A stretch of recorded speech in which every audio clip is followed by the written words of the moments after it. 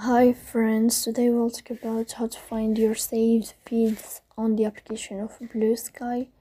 You will go to Bluesky app. In this page, you will go to above to this sign and you will enter. Here in this list, you can click on settings. After that, in this page, you can go to thread uh, sorry. I will go to my saved feeds. And here in this page you will find saved feeds in this list but I don't have any saved feeds. That's why I don't find anything in this page as you see here. So please don't forget to support us by like and uh, subscribe.